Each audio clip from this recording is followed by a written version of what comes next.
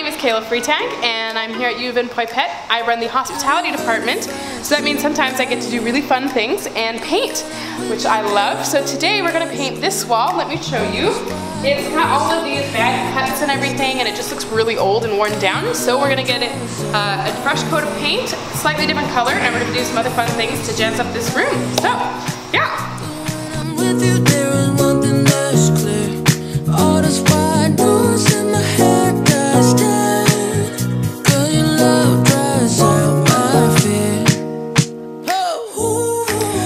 So now that we've got the color on the wall, the next thing is we're gonna put the logo up. So yesterday we projected the logo up on the wall, penciled around the edges, so now we're gonna be filling it in with paint, and uh, we got a few other things we're gonna be doing to this front room, and it's gonna be all good.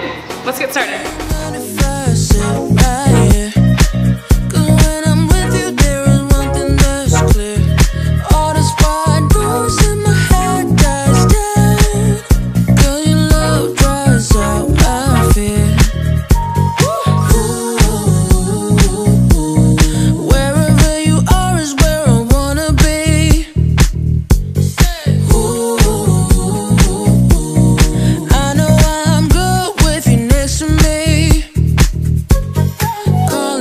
Stations. We